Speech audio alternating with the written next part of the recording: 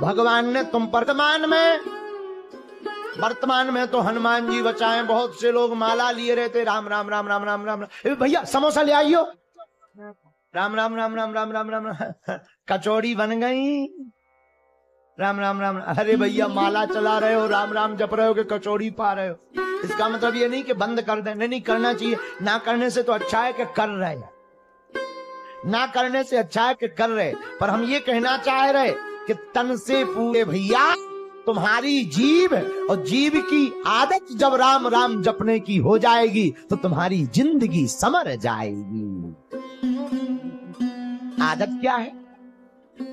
एक आदमी के पास में घोड़ी थी, घोड़ी।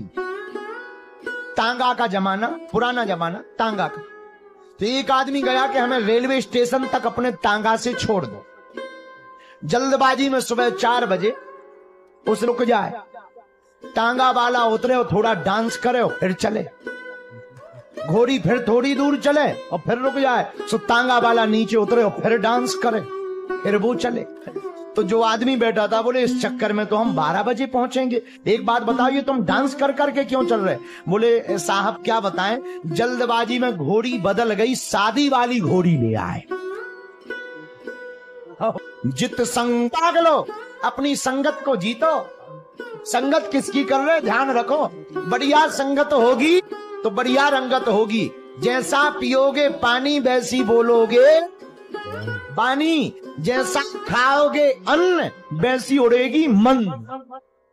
इसलिए भैया, संगत बहुत कंट्रोल के साथ रखना। मेरे पागलो, आपके मित्र कौन है? ये बहुत महत्वपूर्ण है। याद रखना, इत्र और मित्र दोनों सावधानी से रखना चाहिए। बोलो सीताराम सीताराम। तो भागवत में अभ्यास बताया जितासनो जित श्वासो जित संगो चौथा उपाय क्या? जितेंद्रिया। इंद्रियों को जीतो। अच्छा ये इंद्रिय क्या है? भीतर है क्या? नहीं नहीं नहीं। आँख नाक कान मुँह ये इंद्रिय है। क्या करना चाहिए?